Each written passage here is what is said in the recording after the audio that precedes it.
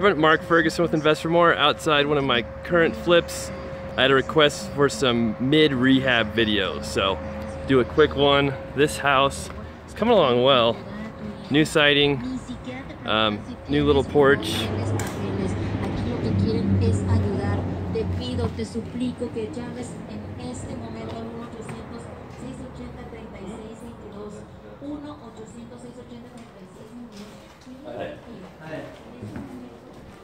See the floors are all taken up. And we're gonna try and get the ceilings raised up if we can. We'll see.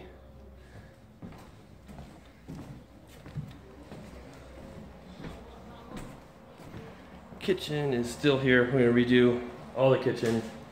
Brand new kitchen. Mostly I've been working on the outside here. And I think we're gonna try and add a second bathroom right in there. Make the house have a master bath.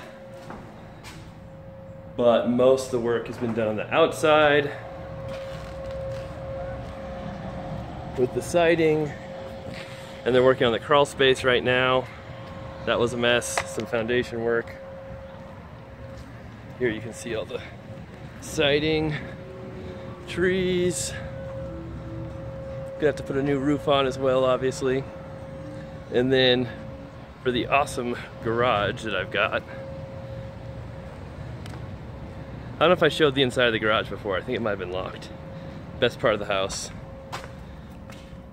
Huge three car oversized garage.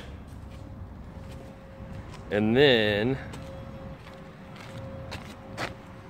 we poured the slab for it. There's just dirt here before, so now we got a nice slab for people to park in, since this is the best feature of the house.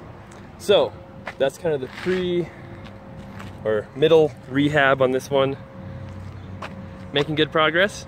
Hopefully it'll be done here in, oh, probably a month or so. Thanks for watching. Check out InvestFourMore for more information on rentals, flips, being an agent.